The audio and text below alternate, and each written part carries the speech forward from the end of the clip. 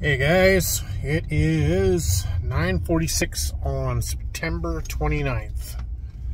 Just uh, doing some, collecting some bait and uh, going to fill out my permission slips for trapping coyotes.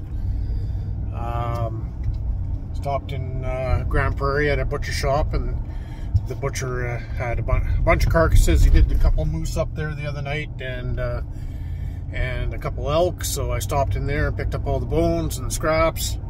So I'm starting to collect all that and getting ready for trapping season. Picked up my license there two days ago, my trapping license from the Fish and Wildlife in Peace River. And I applied for, uh, I think it's like 16 quarters of uh, crown land that aren't on a, aren't on a, a trap line.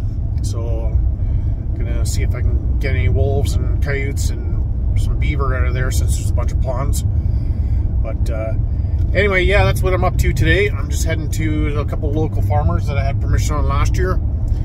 Uh, get the forms all filled out and uh, collecting bait and getting ready because I'm probably going to start giving her on October 24th, which is about three and a half weeks from now.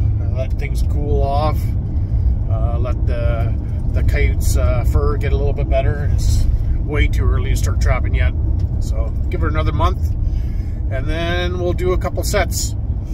But anyway, uh, I figure I'd just make a quick video, let you guys know that I'm still alive, I'm still kicking, and uh, we're, uh, we're getting close.